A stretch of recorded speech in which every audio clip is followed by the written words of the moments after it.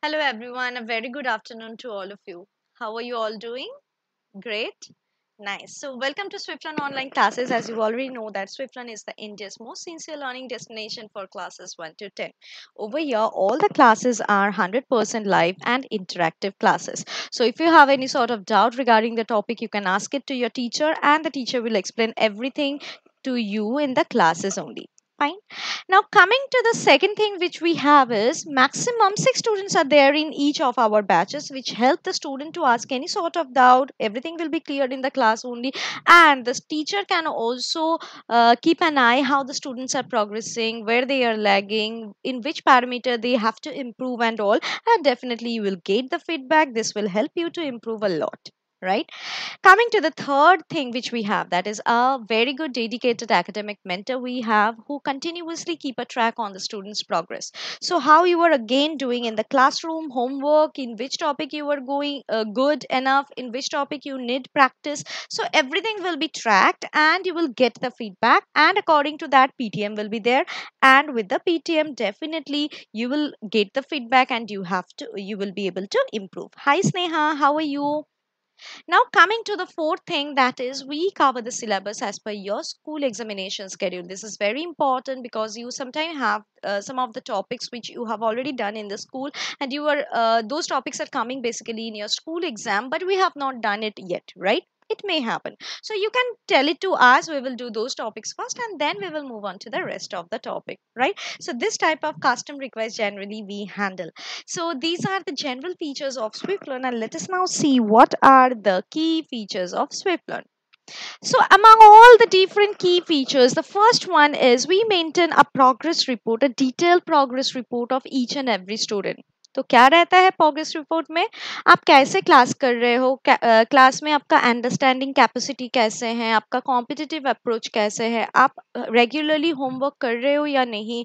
And how much time you are taking to do the homework whether you are doing all the different practice test and all और नहीं?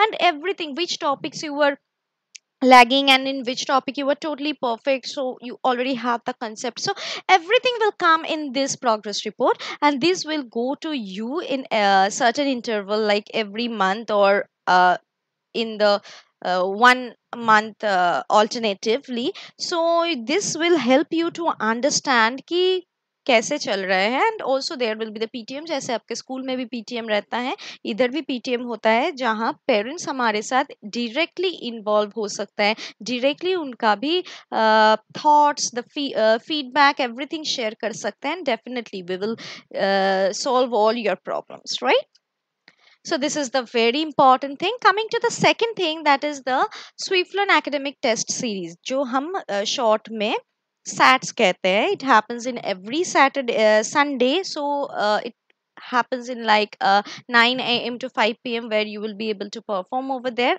and your rank will be given on the leaderboard according to your name okay hi anjali Chalo.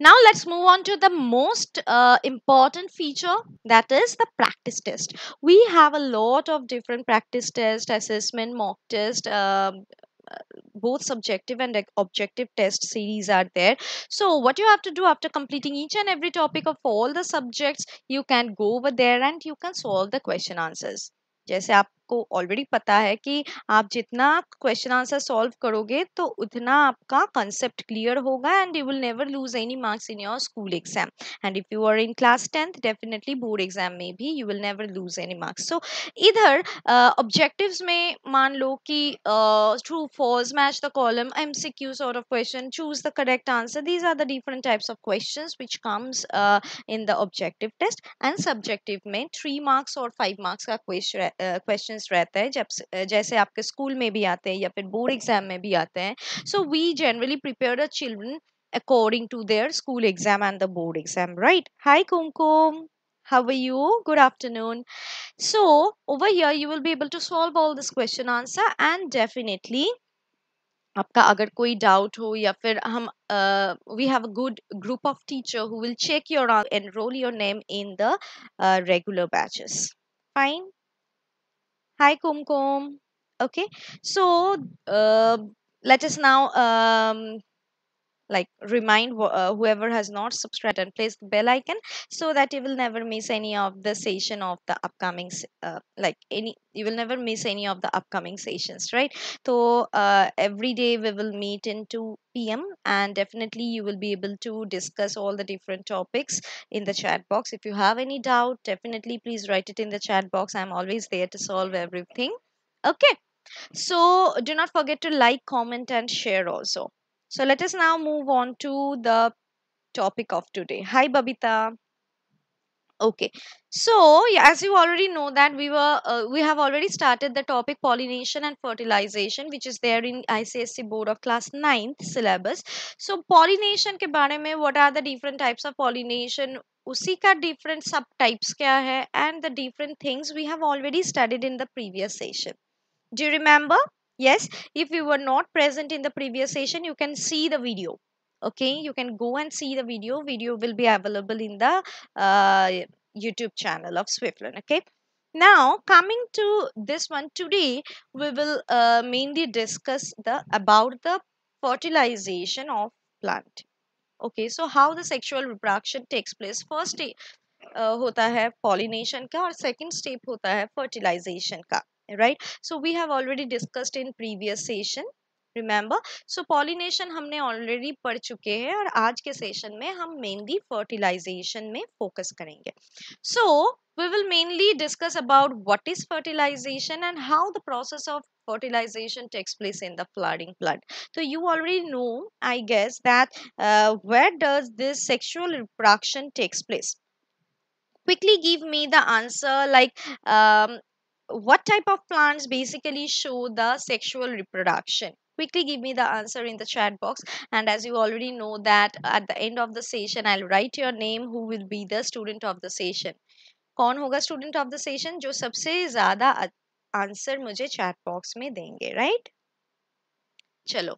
So in which plants basically we which type of plant we basically see this fertilization and the sexual type of reproduction give it to me in the chat box the answer then we will study about the different types of fertilization किस तरीके का fertilization होता है plant में that we will discuss then we will move on to the double fertilization process बहुत important process है ये you definitely will get the question of five marks along with the diagram of double fertilization this uh, topic is very very very very important. ठीक है? तो very carefully इसको समझाना समझना होगा okay and then we will move on to the triple fusion ये double fertilization के अंदर ही आएगा. And then we will move on to the fate of the different flowering parts और द फ्लोरल पार्ट्स उसका फेट या फिर destiny finally क्या होता है?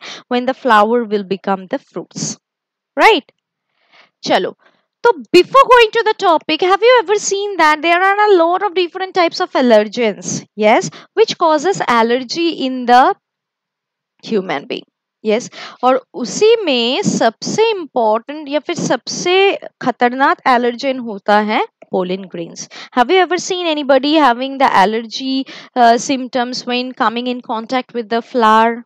Yes. Do you think that it is due to the mm, like uh, the smell of the flower or anything other than a pollen grain no so this allergy like the sneezing watery eyes these are the different symptoms uh, which are due to the allergic reaction okay allergic reaction with the human body with the pollen grains so pollen grains से बहुत सारे लोगों का allergy होता है okay now do you know what is the importance of this pollen grain ये तो pollen grain से एलर्जी होता है, ये तो बैड साइड हो गया या फिर डिसएडवांटेज हो गया। तो इसका एडवांटेज एडवांटेज क्या है? Yes why do you think this pollen grains are basically important for the plants quickly give me the answer yes Babita Kumkum Sneha Anjali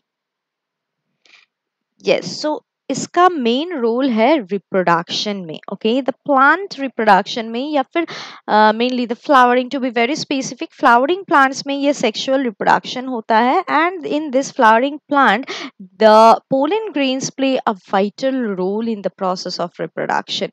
We will see today creates a po- um, it creates a, so much effect on the flowering plant. So before going to the reproduction or the sexual reproduction of plant directly uh, we will see a video okay? Try to understand with the help of the video then i am always there to explain it to you okay?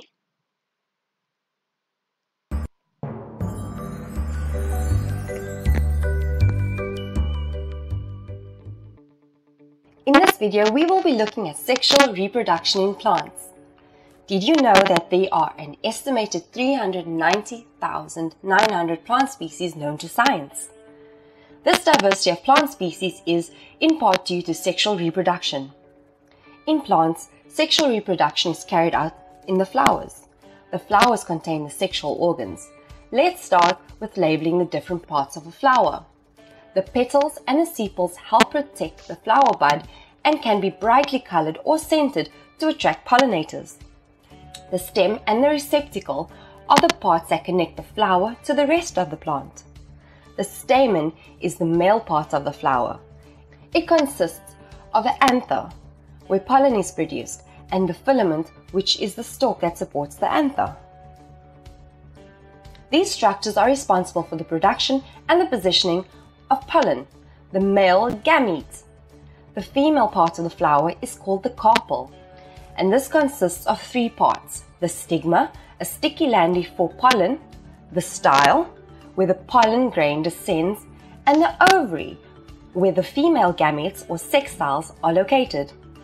Within the ovary, ovules produce female gametes. So, how does pollination work? Pollination is a transfer of pollen from the male anther of one flower to the female stigma of another. Flowers can be pollinated in different ways by wind and water, or by pollinators such as insects, birds, and other animals. Flowers pollinated by pollinators are structurally different from those pollinated by wind or water. Look at the differences in size, scent, and color of the petals, and the positioning of the stamen and style. Here are some key differences. Why do you think they are different?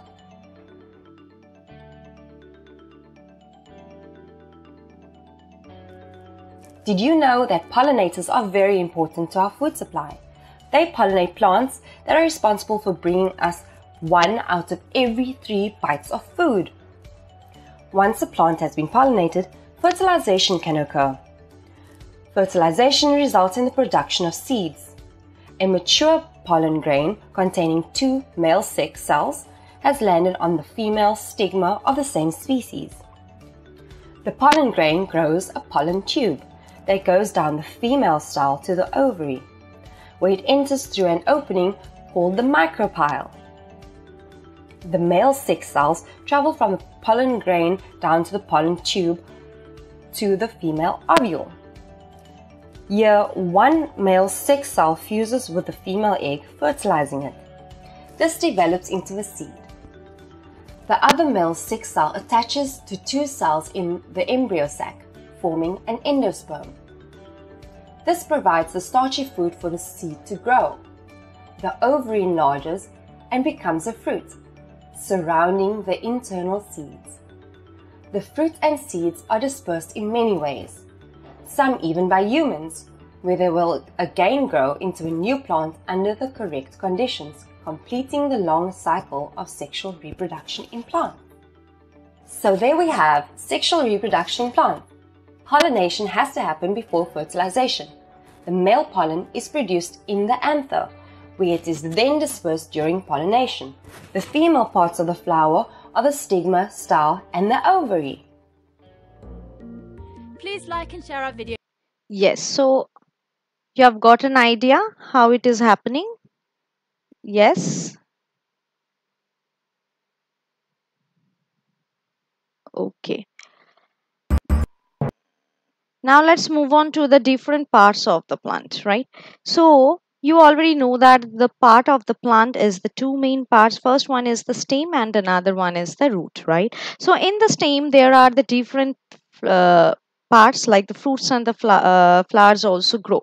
Now we will mainly focus on the different parts of the flower. So what are the different parts of the flower? Yes, what are the four different parts of the flower? Who will tell me? Mainly, we can divide it into four parts that is calyx, corolla, androecium, and gynoecium, right? Calyx, corolla, androecium, and gynoecium. These are the four main parts of a flower. Okay, so flowering plants generally come under the group of angiosperm. You already know. Yes, so all these four are very much important for the reproduction process but mainly this androecium is the male part of the reproductive part of the flower and the gynoecium is the female reproductive part of the flower which both of them are very important for the process of the sexual reproduction okay?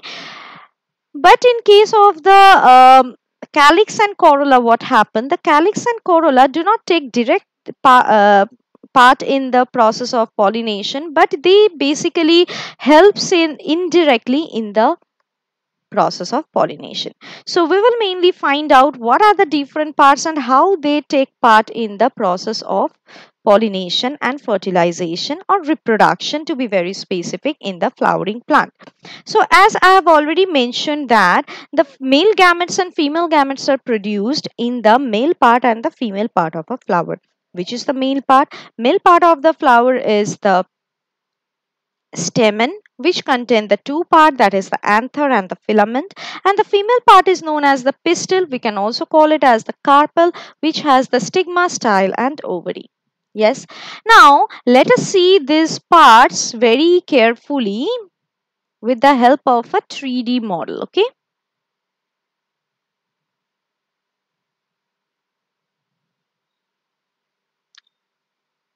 see this is the flower okay? So you can see that the yellow colored structure which are basically covering the different male and the female parts are from uh, which are basically brightly colored parts these are known as the petals yes?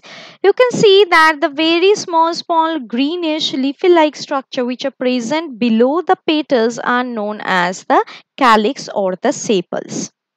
Understood Next, we can see the second one. This one is known as the stamen. Stamen means this is the male reproductive part having the anther at the top where the main pollen grains are formed and the stalk is known as the filament fine now coming to the third one this is the stigma. Stigma means where the pollen grains will come and join with the female reproductive structure. So this is the whole female reproductive structure which we generally call as the pistil or we can also call it as the carpel which contain the three main parts that is stigma, the long stalk that is the style and the bulge like structure which is known as the ovary. So the sixth position which is it, is showing the bulge like structure is known as the ovary and within the ovary the ovules are present okay? And always remember within the ovules the female gamete is present. What is the female gamete over here? It is known as the egg okay? So the egg cells are present within each of the ovules. Up to this much clear hai? Yes? Now let us move on to the slides. Yes. So this is all about the structure of the flower. We have already got an idea ki what are the different parts of the flower are there and what are the reproductive parts of the flower. Mainly the male reproductive part is known as the stamen and the female reproductive part is known as the ovary. Uh, sorry carpel right? Now what happens after the pollination? So pollination matlab kya hai? Anybody can you please tell me what do you mean by pollination which we have already studied in the previous session? That is the transfer of the pollen grains from the anther to the stigma of the flower. It can happen in the same